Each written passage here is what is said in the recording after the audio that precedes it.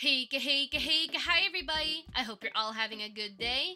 I hope you're all smiling and enjoying your lovely day. In this following tutorial, I'm going to be showing you on how to set up Warudo with MultiV. That way you can be able to collab with other VTubers with pure transparent background. So allow me to show you how to get started with that. First and foremost, you're going to go into the Warudo editor um, app right here, see? And then what you're going to do is first make sure that your camera is set to transparency. It should be under the basic properties basically. Um, you'll set it up to transparent background and that way you can have transparent background with your setup. Then what you're going to do is you're going to go into the paw at the bottom left corner here. You're going to press on settings then you're going to go ahead and scroll down until you see NDI output. Go ahead and select on yes for the NDI output and make sure to remember this exact spelling of Warudo. That way um, we're going to copy and paste this name over to MultiV basically. Now what we're going to do now is that, and I will say in advance, uh, I will be lagging a lot because whenever I click out of I lag like crazy for no reason, despite my priority settings. Anyways, um, basically here in MultiV, you're going to go ahead and create a new room. I will also say as well, if you have any technical difficulties with MultiV, please join the Discord server or contact this person if you have questions. But go ahead and add a new room. Then you're going to go ahead and either download the app if you're brand new or launch if you are a pre-existing user.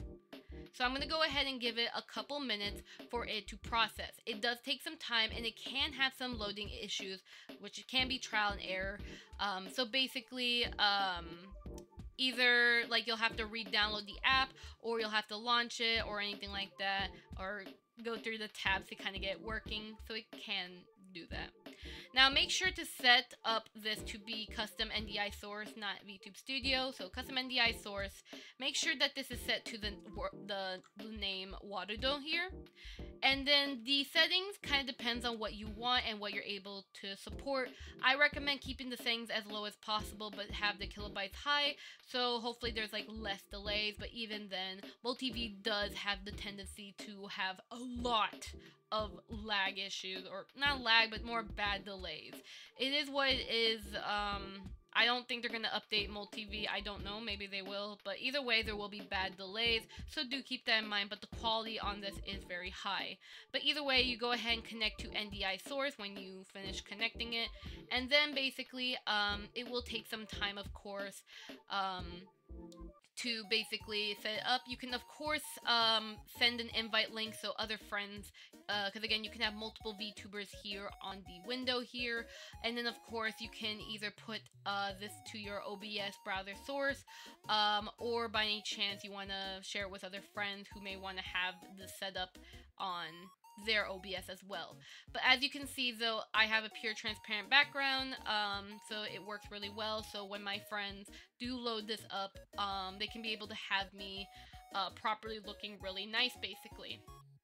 And overall, that's basically how you can connect Warudo uh, to MultiV via NDI. You don't need to have OBS on. Um, it, it, it depends, uh, but of course, oh, you know, if you're the streamer, you can have OBS on, but if you're not the one streaming or anything like that, you can have OBS off to hopefully preserve some computer resources, basically.